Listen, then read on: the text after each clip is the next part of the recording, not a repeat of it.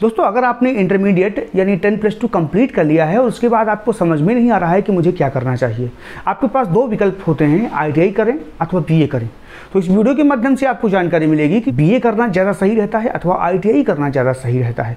इस वीडियो के माध्यम से पूरा एनालिसिस किया जाएगा कि आईटीआई आपके लिए ज़्यादा अच्छा है अथवा बीए करना, यानी बैचलर ऑफ़ आर्ट करना ज़्यादा अच्छा है। इस वीडियो के माध्यम से पूरी जानकारी मिलेगी। तो दोस्तों, नमस्कार, मैं हूँ दीपांशु वाजपेयी। आपका हार्दिक स्वागत करता हूँ अपने यूट्यूब चैनल गाइडलाइन पर। दोस्तों, जहाँ तक बात करते हैं बीए की बीए यानी बैचलर ऑफ़ आर्ट ये एक डिग्री प्रोग्राम है, एकेडमिक प्रोग्राम है। वहीं आईटीआई की बात करते हैं आईटीआई यानी इंडस्ट्रियल ट्रेनिंग इंस्टीट्यूट।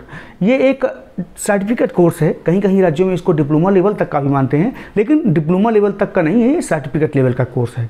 तो इसके अंतर्गत आपको टेक्निकल जानकारी विशेष रूप से दी जाती है। बीए यानी बैचलर ऑफ़ आर्ट की जो प्रशिक्षण अवधि होती है या एकेडमिक अवधि होती है, ये तीन वर्ष की होती है। वहीं आईटीआई दो वर्ष की होती है और एक वर्ष की भी होती है। इस ट्रेनिंग को कंप्लीट करने के बाद आप गवर्नमेंट सेक्टर की अथवा प्राइवेट सेक्टर की जॉब पाते हैं। वहीं बीए जो होता है, एकेडमिक प्रोग्राम है, ये एक ट्रेनिंग नहीं है, ये एक पढ़ाई है।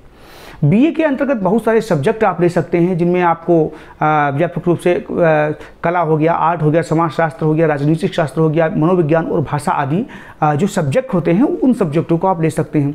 आईटीआई में जो विशेष प्रकार की ट्रेडें होती हैं मैकेनिकल की होती हैं सिविल की होती हैं इलेक्ट्रॉनिक्स की या इलेक्ट्रिकल की होती हैं, चाहे फिटर टर्नर मशीनिस्ट वेल्डर या और भी जो नॉन टेक्निकल की होती हैं नॉन इंजीनियरिंग ट्रेडें होती हैं, वो ट्रेडें होती हैं।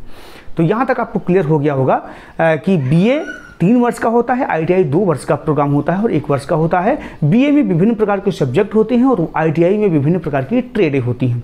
अब हम बात करते हैं करियर विकल्प, आपको कहाँ पर ज़्यादा मिलेंगे? बीए करने के बाद में आपके पास शिक्षक बनने का, यानी अध्यापक बनने का, पत्रकार बनने का, लेखक बनने का, वकील बनने का, सिविल और रिसर्च डेवलपमेंट में जा सकते हैं, सामाजिक कार्यकर्ता के रूप में आप कार्य कर सकते हैं।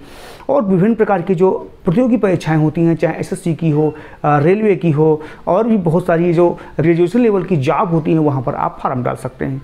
वहीं आईटीआई करने के बाद आप टेक्नीशियन बन सकते हैं ऑपरेटर बन सकते हैं मैकेनिकल ऑपरेटर बन सकते हैं सुपरवाइजर व खुद का स्वयं का बिज़नेस स्टार्ट कर सकते हैं। तो यहाँ तक आपको क्लियर हो गया होगा कि आईटीआई और बीए में कौन सा आपको ज़्यादा अच्छा है। वहीं अगर हम बात करते हैं कंपटीशन की तो बीए करने के बाद अगर आपकी जॉब नहीं लग पा रही है तो बीए का कोई भी औचित्य नहीं है। ठीक है?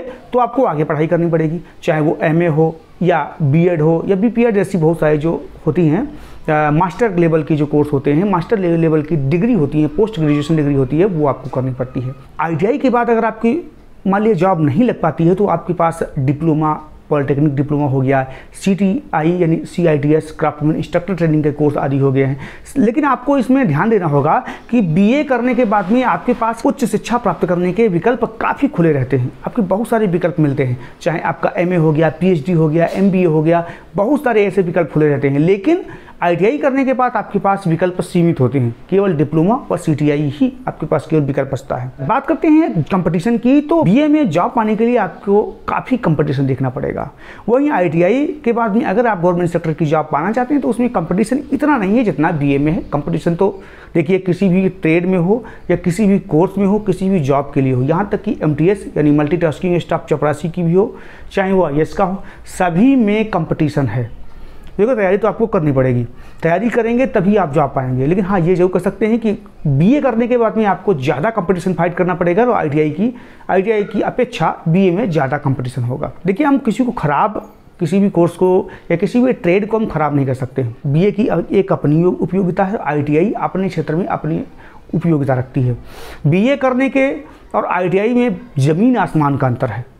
तो विशेष रूप से आपको स्टेप बाय स्टेप हमने समझाने का पूरा प्रयास किया है। अगर आप चाहते हैं कि हमें समझ में नहीं आया है तो मैं इस पर दूसरा वीडियो लेकर के आऊँगा, जिसमें आपको डीपली से समझाने का प्रयास करूँगा। तो कमेंट कीजिएगा कि आपको ये वीडियो कैसा लगा। अगर अभी तक हमारे चैनल को सब्सक्राइब नहीं किया है तो प्लीज़ सब्सक्राइब ज़रूर कर लीजिएगा, क्योंकि ऐसी जानकारी जो आपको, क्योंकि ऐसी और अथेंटिक और लीगल जानकारी आपको किसी भी चैनल पर नहीं मिलेंगी, जो जानकारी आपको गाइडलाइन हब चैनल पर मिलती है। तो मिलते हैं अगली वीडियो में, तब तक के लिए नमस्कार।